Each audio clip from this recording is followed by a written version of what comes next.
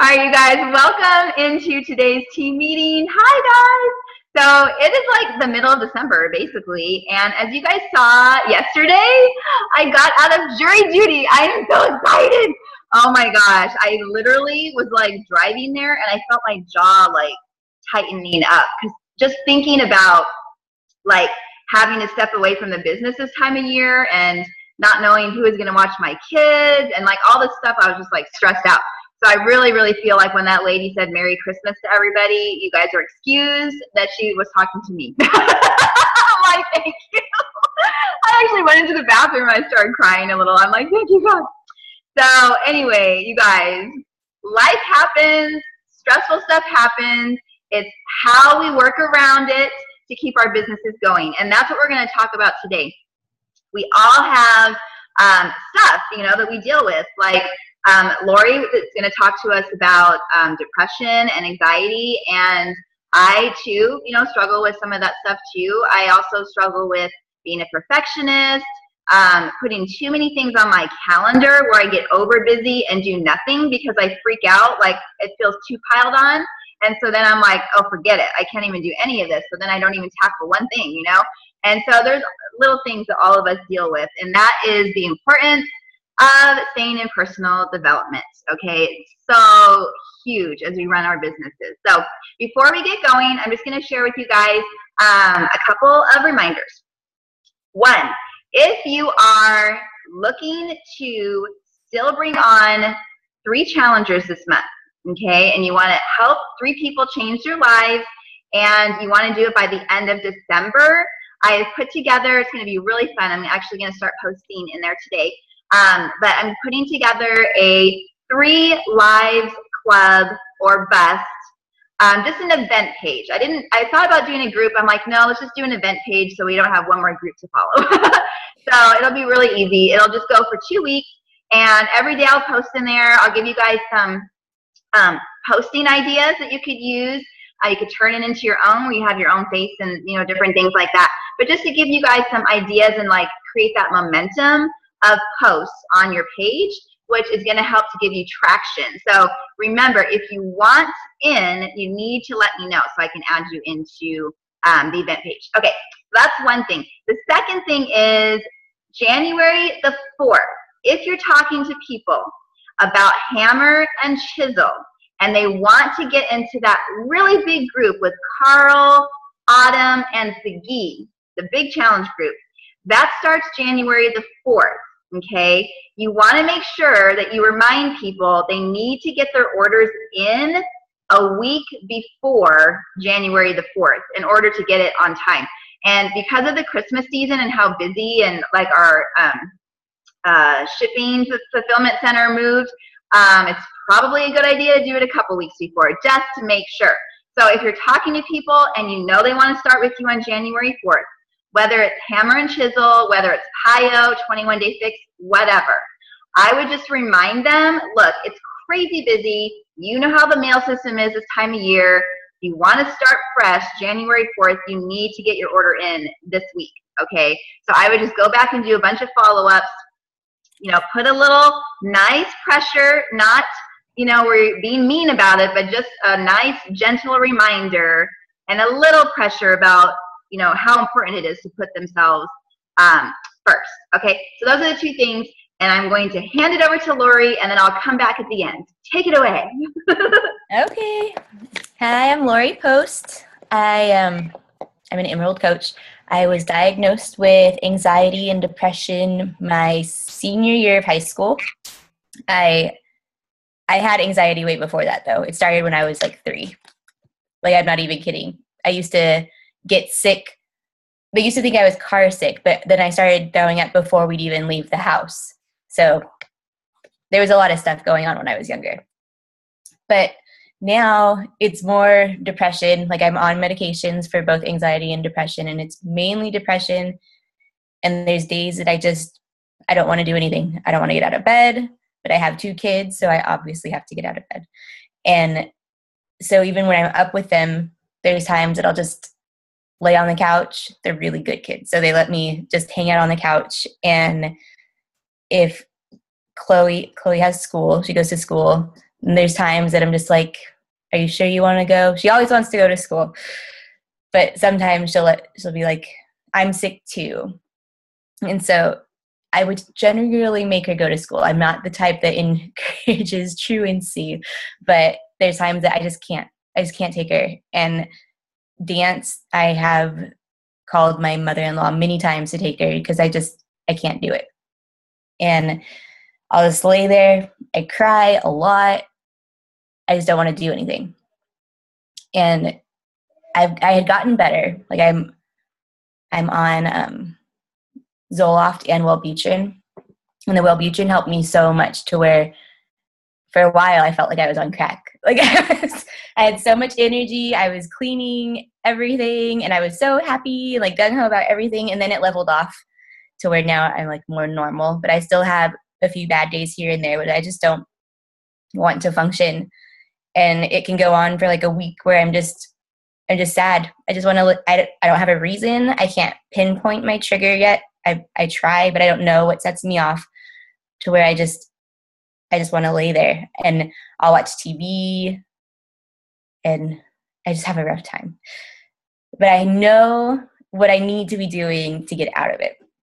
And that's what I have to do. If I let myself go for like more than 2 days, it's just not it's not good. So to get out of it, the first thing I have to say is get out of bed and don't go back to it. Like I get up early to help my husband get off to work and I would occasionally go back to bed after he left because he leaves at like 6:30. And so if I went back then I wasn't going to get back up till after 8. Which is like 2 hours of wasted time. so, get out of bed and do not go back to your bed. And exercise like right away. Even if it's just some yoga and stretching for a little bit, do something to like, get you going. I know that sometimes it's suggested that you pray and meditate when you wake up. I will go to sleep if I do that. I have to be going right away. So exercise and drink your shake. This is not just a push for Shakeology, but you need to drink your shake because it really helps. It for one, it gets you going. You have your metabolism going right away, but there's just something in it that just makes you feel better after you've had it. I just feel better after I've had it. And then go outside. Don't stay out inside all day. The the sun, like the vitamin D really does help make you better. And the fresh air, just being stuffed up in the house all day does not help. You got to go outside. That's what I've been doing lately. Like if I start to feel like I don't want to do anything, then I go outside and I get some fresh air and it's okay. Another thing that brings me down is a messy house. Oh, I've also I also have obsessive compulsive disorder, but it's not as bad as it used to be. So, if it's messy in the house, it makes me crazy. If the kitchen is getting out of control, I just I can't handle it. And I'm the one that cleans. Like I have two kids, I have a husband, they don't do anything. the kids pick up their toys and Freddie's really good at throwing stuff in the trash. But um otherwise I don't have any help. And so that can make me crazy too. So clean if it makes you feel better, clean like a crazy person. But otherwise, just like try to keep it tidy. It uh, it just makes me happy when everything's put away. and also talk to somebody. You can talk to them about depression, like if it's somebody that has the same thing as you. But just socializing with friends. Don't keep it all in. Don't keep it to yourself. Just have fun with your friends. I know that when I'm down, I avoid people. I don't respond to things. I don't go out of my way to talk to anybody. I just I don't answer the phone. But you have to make an effort to get talking. Get out of your house and go for coffee. Just talk to them on the phone, FaceTime them, see somebody. You can't just you can't just keep it all to yourself. You have to talk to people. What was the next thing? I do agree with praying and meditating and taking time to breathe. I like to do it sitting in a chair or standing up because if I'm laying down, I will go to sleep. so you, that's part of my like, just keep it up, keep it aware. Uh, don't sit down. Don't go to sleep. If you need a good laugh, same issue. you need to keep laughing. But I would suggest. I'm gonna mute. Um, can I mute Laura? There. Okay. Um, watch a funny movie. I'm a big fan of Will Ferrell. He gets me going. but if if you need something, like I'm just nothing's helping. You need to laugh. You need something that's gonna make you like cry, pee your pants, laugh. Like you need something good. And also, I mean, we should be doing this anyways, but avoid your sugar and carbs. That stuff can make you feel like the comfort food. You're like, oh, I just need some like mashed potatoes or something that like makes you feel good. It's not gonna make you feel good later. Like you're gonna be like on and up, and then you're gonna have a really bad crash later on, and you're gonna be really tired. Depression makes me so tired. if you haven't noticed, turn off the news feed on Facebook. I can go through there for one it's like waste time just looking at everything. But there's so much sad stuff. There's so much sad stuff. Just well bad things going on in the world. Obviously you want to be aware of what's going on in the world. You can check check out the news now and then but people losing their kids things happening to their homes. It just it brings me down so much to where i just have to turn it off. I can't i can't see all the bad stuff i need to see dads coming home from being overseas. I need I need to see like puppy dogs jumping in leaves, the the happy things. And just stop comparing yourself to others. That's another thing with the news feed. Some people are probably doing better than you, but there are also people doing worse than you, and you're not going to see that because Facebook is the highlight reel of everything going good not everybody's marriages are that perfect. Not everybody's fitness is that perfect. They are not always doing it every day, but they, they might be, they might not be. And their food, who knows when they ate it? it's not, everything is not always as good as it seems. So don't compare to them. This is your life. You're the only you. You're not them. You're you. And you can accept that. Accept that you're not perfect. It's not something to be embarrassed about. I'm I used to be embarrassed like I'm on medication, I have a mental illness, but it's there are so many people that go through it. There you're not alone in it. It's not something to hide. Obviously, I'm fine with just talking about it now, but a lot of people aren't. But you have to accept that.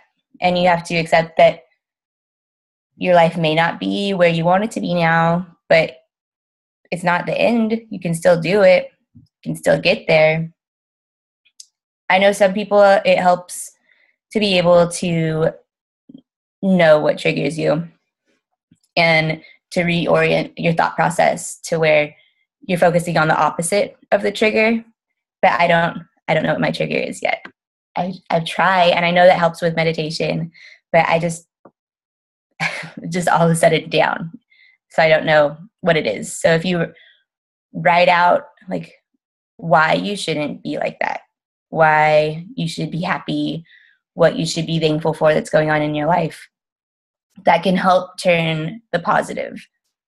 You can't just say, just be happy, just be happy the sun's shining, just smile, because that doesn't do anything.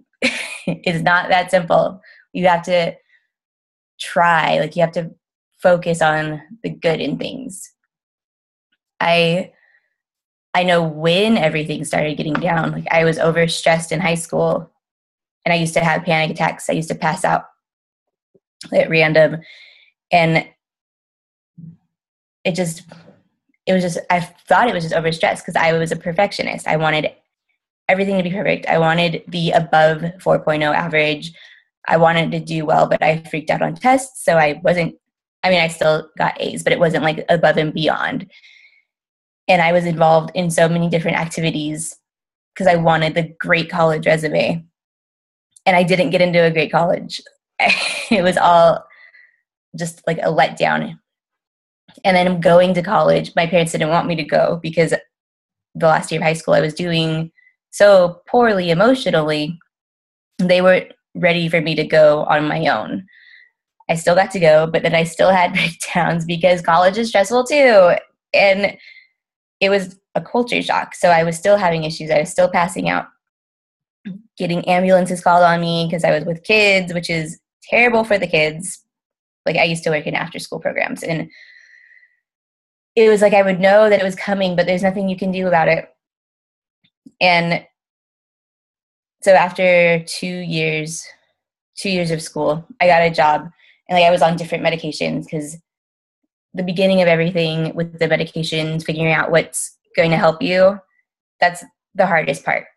Because sometimes you feel like you're even worse. Like I had bad reactions with Lexapro and bad reactions with Prozac. Like I just, it it made me so much worse. Like I don't I don't even want to talk about it. But um, then I was on Effexor for a while, and that was good until it wasn't. And so you just have to keep up on it. And then when I had when I was pregnant, Zoloft was supposedly the safest when you're pregnant, and I couldn't go without it because I had been um, suicidal, and so I needed something. I didn't. I, I don't trust myself without anything. And then with Zoloft, it got to be where it just wasn't enough. When you're sitting there on the couch and you're just staring off into space or you're just crying and you don't know why, and you're like, well, everybody has bad days. They don't have like a week's worth of bad days. They don't sit there for a week just crying. If if it's gotten to that, you need to talk to somebody and you need to get help. And it's okay. It's okay to be on medicines that's why I'm on Wellbutrin now. And it really made everything so much better. Like I feel like I could be a spokesperson for Wellbutrin because it has helped so much. And but obviously I still have bad days. To where if it's more than if it's more than a few days, if it's more than a week, then I know that I need to go to the doctor and I need to get an adjustment or I need to figure out what's making it like that. Hormonal changes, so much can set you off and it's just so i'm going to interrupt you real quick that's fine so um that sounds like really really tough. I didn't know that you had been suicidal. Like i know it's very common when people struggle with depression. Um you know we see that in anita. Like she's kind of been talking about that you know too. So i know it can be scary but what one question i have is like so through all this you became a coach in june. So how has coaching uh, helped you know with with your depression and um like when you do have those bad days like how do you work how do you work through it where you're still on social media and you're still posting and you're still you know reaching out to people? Can you talk a little bit about that? Yes. Um before coaching i didn't exercise. That's why i got into it. Like i had gained so much weight. And the exercising portion has helped so much because exercising helps. It gives you endorphins and it brings you up. And that and Shakeology have helped a lot with it. Um, as far as Facebook, if it's like one day, I can I'll disappear. Like I'm not on there. Um, but then like after like this the next day when i'm like i have to do this like this is my my job this is what how i help support my family. Like, i wanted to get into it to take some of the stress off my husband. And so i know that i have to do stuff. So i have the list of people and i just go through the script. I i know that we're supposed to be present. And so i notice when my conversations aren't as productive because if I'm just not present, it's not working as well. So you, I kind of have to force myself to suck it up and find something going on that I can post about. If it's, I mean, I'm doing like the same things every day. I'm still doing my personal development and I'm still doing stuff with my kids I'm still eating, obviously, like you have to eat food. And so I still have, there's always something to post about. And so you just, you have to do it. You have to find something. Like I could take a picture of, I'm sitting at my desk right now talking to all these people, and that's a post.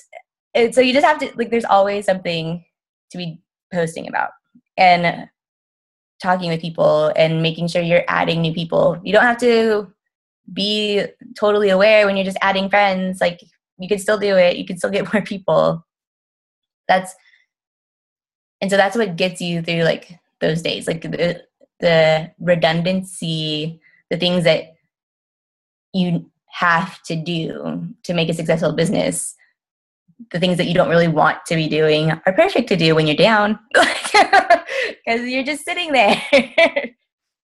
So that's really what's kept me going that way. Like you just have to that's about it unmute yourself. That's awesome. Uh, yeah because like i even have bad days too you know and i, fi- I find that when i do and i look throughout my days uh, for me, I notice I haven't been in my personal development for a couple days, and I'm like, shoot, okay, because like you know how sometimes you're like you start analyzing yourself, and you're all like, what's missing that I was doing a few days ago? Because a few days ago I was fine, I was like flying, you know what I mean? And then you kind of get down, and you're like, okay, what if you know you you tend to like need to analyze yourself to figure out like what am I not doing or doing differently, you know, um, that might be making a difference. For me, it's not reading my Bible or getting into personal development. If I'm not on top of like both of those things, my mind gets affected very easily. And then that's when I start comparing, you know, myself to other coaches. Yes. And, um, you know, why am I not at this point? You know, they've been doing the business less time than me, or you know, thoughts like that. so, yes. Um, but yeah, I'm so I'm really really glad that you're on our team because I know that we have other people on our team that also struggle with depression. So um, I hope that it helps to know that you're not alone. Like, and I think that um, as women, we tend to put so much pressure on ourselves, especially if we're a mom, and we have so many uh, balls up in the air, and we're juggling, you know, so many different things, and we want to be perfect at all of them and that realization that we can't um, is sometimes hard to admit because we want to be you know the one that sometimes gets the attaboy and you're doing so good and that kind of stuff and so sometimes we're striving for that and when we don't hit that uh, you know we tend to get down so there's there's so many little things that for me trigger um, uh, when i see myself you know start to spiral down but you know, you're definitely right. Like you have to stay connected to people. You have to uh, stay engaged with the business because if you do pull back and you pull back long enough, you're going to lose that momentum. And then losing momentum could actually make you go into a depression thing too. Because you're like, how do I get the momentum back? And that could bum you out, you know? so, that's a great thing. That's a great thing about Beachbody is I can take a day and sleep in. Yeah. And I can take a day and just sit there and I can do stuff on the computer, but I can just sit there and zone for a day because it's only a day and you're not going to the office. Yeah. I'm not, I don't have to put myself together. no one knows that you took that picture four days ago. exactly. like the days when I know that I'm going to be on my heavy period, because I, I tend to be fairly regular. And so when I start, I know for me when my heavy days are going to be when I'm going to be on the couch. And so those days are the days that I tend to schedule out my posts. And I'll take pictures from you know several days before or sometimes i'll use ones that i've done before and um, i'll just put something new on there and when i'm emotional and i feel so weird but when i'm really emotional i feel like i create the best post because i am already triggering myself into emotions and i feel like it goes into people more almost like it's hitting, it's hitting their emotions too when like I'm emotional and I'm sharing you know what's going on. So like I really liked your post today Laurie how you were talking about getting ready for um, the team call and how you kind of just briefly touched on um, the fact that you're struggling, you know, you have a struggle with depression, anxiety. I think talking about it on social media, um, if that is like your pain point, um, which is what a lot of network marketing companies call like, you know, when you're going to be talking to your niche market, um, if you have this pain point and you talk about it, you're going to be attracting other people that also struggle with that. And because uh, you're admitting it, which is hard to admit when you know you don't have it all together.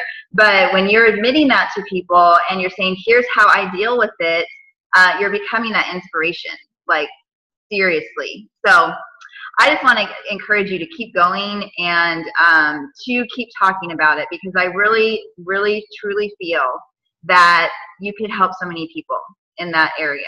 You know, so, all right. Well, thank you very much for sharing today. I hope that it helped everybody. I wanted to, um, real briefly, I'm going to read from, I'm almost at the end, Laurie. I think I only have like two more chapters left. It only, it only took me all year. it's so good. So, just real quickly, because I know we're going to run out of time. This actually really, really hit me yesterday um, he talks about this concept of going from believing to expecting. And um, he was saying how much of our life is spent waiting. There's a right way to wait and a wrong way. Too often, when things don't happen on our timetable, we get down and discouraged. Even though we have the promise in our heart, we give up and settle for the status quo.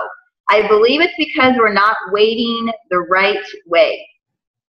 Um, to wait with expectancy means that we are hopeful and positive. We get up every morning expecting good things. We may have problems, but we know this could be the day that God turns it around. This could be the day you get a break that you need. Waiting should not be a passive thing. Waiting the correct way means you are on the lookout. You talk as if what you believe is going to happen. You act as though it's going to happen. You are making preparations.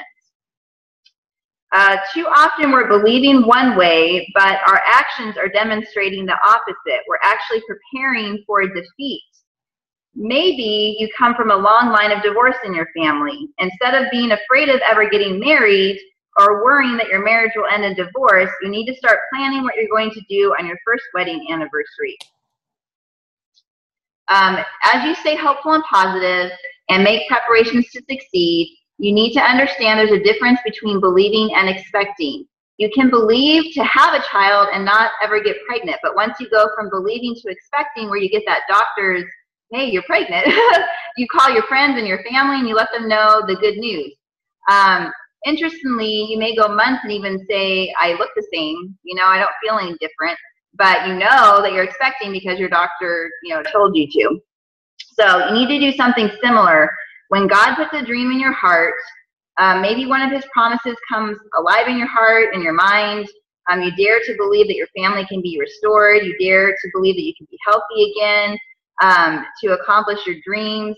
The first thing is you have to let that seed really take root and not just believe it, but you need to walk by faith and not by sight, even when things um, aren't happening. So the reason why I wanted to bring that up is because, like, planting seeds is really, really big in this business. So, like, it might not happen as fast as we want it to, but we have to believe and we have to expect that it's going to come because it will. Like, you have to have that faith that if you're putting in the work and you're being consistent at posting and you're being consistent at your follow-ups and drinking your Shakeology and getting your workout in and you're doing you're just doing the action steps right? You're doing the business action steps. As you're doing those steps you have to expect that you know what am i trying to say? That um, the results that you're wanting are going to come from putting in, you know, the work. So even though it might not happen as fast as we want, it will happen. It will. And, you know, if we're behind, um, it really, really helps to double up what you're doing. Okay, because sometimes when you're behind, um, you do have to, t- you know, put in more effort to get to the end result that that you're wanting okay? And especially if you're wanting to touch three people's lives before the end of the year and you haven't you know maybe brought in uh, one life yet that you've helped then you do need to double maybe even triple you know the efforts and i really want to encourage you guys you know christmas is coming. I definitely don't want us to be working on you know christmas eve christmas day uh, new year's eve new year's day maybe new year's eve because we can post pictures about that. But you know, you're going to be with your family, right? And I want I want our team to be the type of culture that and the community where family comes first. I don't want us all to be like work, work, work, work, workaholics and not enjoying, you know, the um, the results from all this hard work that we're putting in. And so, knowing that we have these holidays coming up and family's going to be coming into town, why not work our hardest right now and get everything done right now so that when we go to take that break, we can truly relax and not feel like, oh my gosh, I haven't met my goals yet. Excuse me, I'm gonna go to the bathroom and you're in, you know, posting or whatever. You know what I mean? Like you want to really just be like relaxed and enjoying your family and um, just creating those memories. So, do you have anything else to add, Miss Laurie? That was great. Thank you very, very much for sharing with us today. I really appreciate you telling um, us some more about your story. I was trying to hold back the tears. I wish I could hug you right now, but I am in my mind. thank you. So thank you guys. And um, as we wrap up the rest of this year, let's just give it our all and um, change lives. That's what we're all about. So go out and make a difference in your world today. And I'll go ahead and post inside um, the Three Lives Club or uh, Bust um, in a little bit. And if you are not part of that yet, make sure that you reach out to me so I can add you um, into that event page. All right, you guys, so take care, and I hope you have a great rest of the day. See ya. Bye.